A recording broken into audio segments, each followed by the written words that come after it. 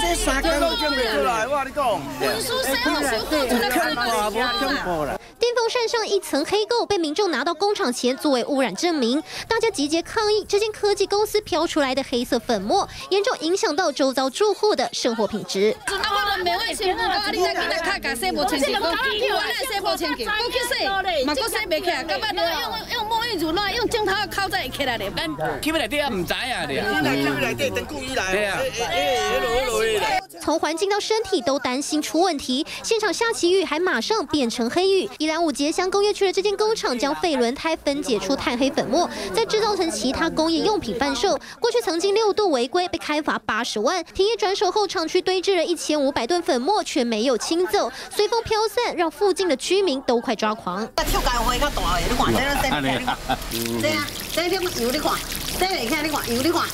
我们会呃最后那个呃